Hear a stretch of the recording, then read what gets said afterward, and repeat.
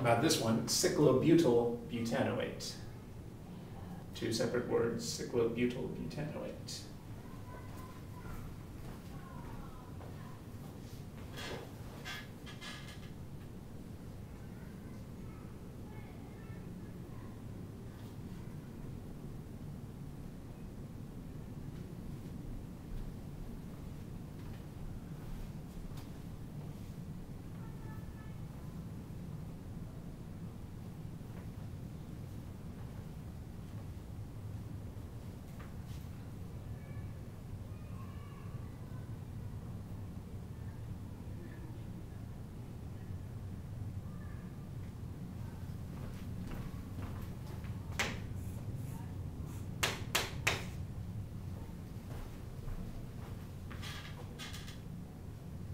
That out, good.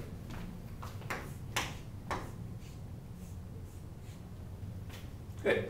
The main chain has four carbons, that's butanoate. oate means an ester, and the ester substituent is a cyclobutyl, so a four-membered ring.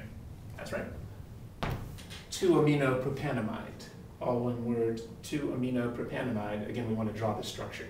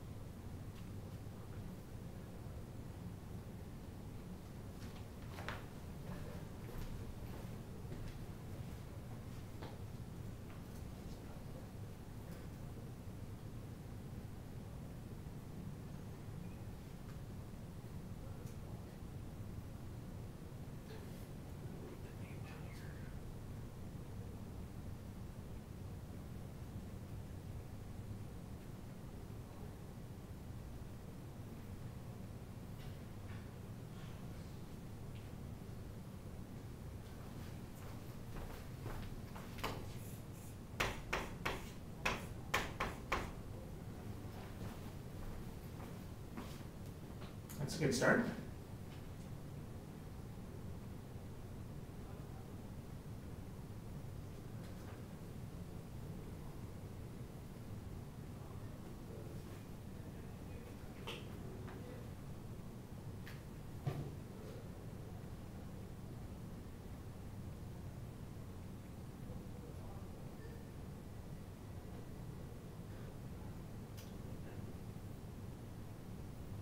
Uh, that's another one where you didn't seem too happy with your answer, but you got the right answer. That is the right answer. So prop means three carbons. Amide means that it's an amide. Now, we have an, an amino substituent, and what's the location of the amino substituent? It's on the number two carbon. Well, we know this is the main chain here, one, two, three. So you're absolutely right, you put that amino substituent in the exact right place. And are there any carbon chains here? No, because they didn't tell us there were. If there were any carbon chains here, they'd have to say something like N-methyl or N-ethyl. Remember, if there's carbon chains here, they have to tell you that with an N locator. Okay. So if there had been a methyl group here, they'd have to say something like N-methyl 2-amino propanamide. So we just have to put enough hydrogens to get this to be the normal neutral nitrogen with three bonds. So we have to pay attention to the locators here. A number indicates usually a position on the, well, it's tricky, but in this case, this number indicates a position on the main chain. Okay. And there are no N locators, which means there's no carbon chains on this nitrogen.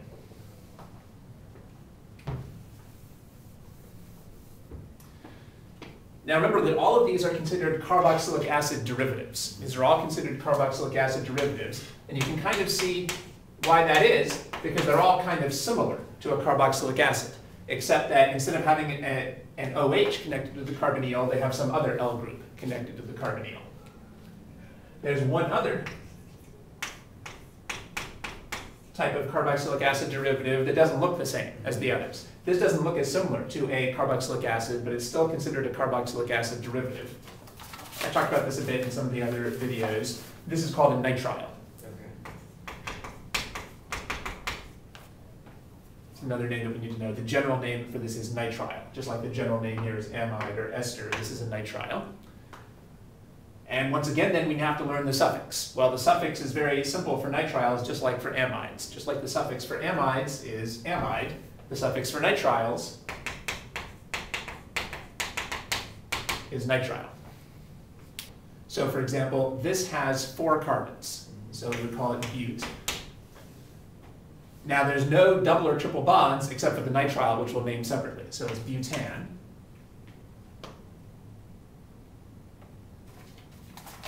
And the suffix is nitrile.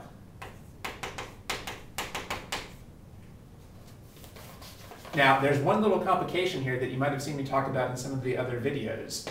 Um, here we have this root am. Um, now, this is actually butane nitrile, just to put in this little e over here. And the reason is because the next letter is a consonant. Um, so how do you know when to use an and when to use ain? Um, well, when the next letter is a vowel, use an. But when the next letter is a consonant, consonant, use a. Well, here the next letter is an N, so we use the letter E over here. Usually the suffix starts with a vowel. Acyl, um, uh, well, all, but uh, oyl, or anhydride, or ester, or amide. So usually we leave out the E. But this is a rare suffix that starts with a consonant, so we put in the E. So this is butane nitrile. Notice that this is considered part of the carbon chain, so we have to include this when we're counting. And this has got to be terminals at the number one carbon, so we don't need a locator.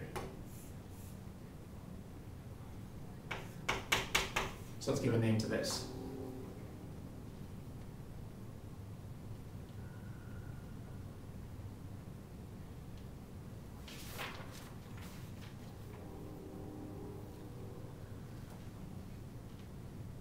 Uh, propane nitrile?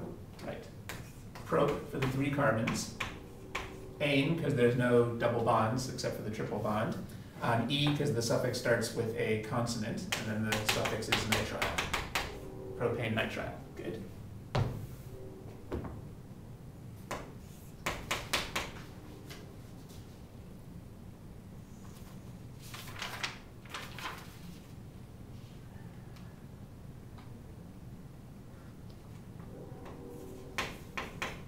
And let's name this.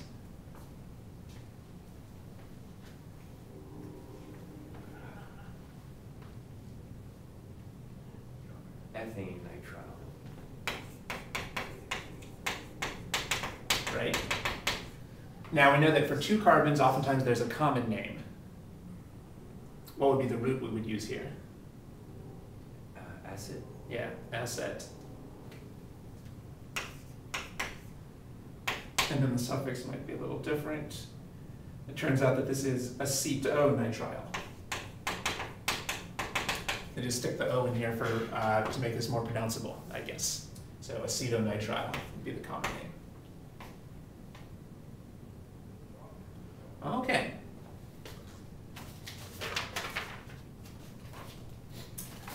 Most important thing to know out of all the stuff we've gone through are the suffixes. Okay. Do you remember what the suffix is for acyl halides? Uh, oyl? Yeah. Oyl halide, like oyl chloride or oyl bromide. That's right. And what's the suffix for anhydrides? Um, oic anhydride? Oic anhydride. Oic anhydride. Good. How about for esters? Uh, oate? Oh wait. Y- Your tests are not open book, are they? No. All right, so yeah, these have to be memorized. Good. Oh eight. How about for amides? What's the suffix? Amide? Amide. And how about for nitrides? Uh, nitrile? Nitrides. So these two are some of the easier ones down here. Oh, we just, uh, we spent quite a bit of time there just going over the basics of the nomenclature, and uh, I still had to skip some of the, the more subtle points that your instructor went over. So if you have time, you might look at some of those subtleties, but these are the most important points for naming. Now we can go on to some reactions? Sure. Okay. Uh, we didn't talk at all about how to name carboxylic acids because you already reviewed that on one of the videos. Uh, by the way, do you remember what the suffix is for carboxylic acids? Uh,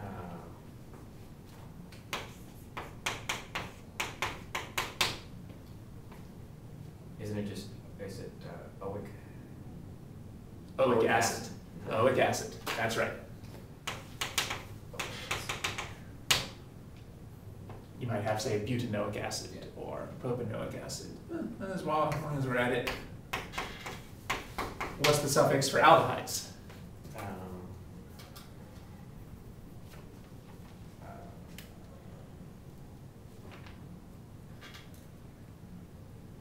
Is it AL? Good. Yeah, you worked that out. I guess that comes from the name aldehyde, just ends in AL. And what's the suffix for ketones? O-N-E? Again, that comes from the name ketone, this ends in -one. So that, that's quite a bit of nomenclature that you've gone over that's uh, probably going to be coming up on the next test. These videos are offered on a pay what you like basis. You can pay for the use of the videos at my website. There is a link to my website in the info box. The address is www.freelance-teacher.com slash videos.htm or you can just use the link in the info box. By the way, I also offer tutoring via Skype and you can find more information about that Skype tutoring service at my website. Thanks.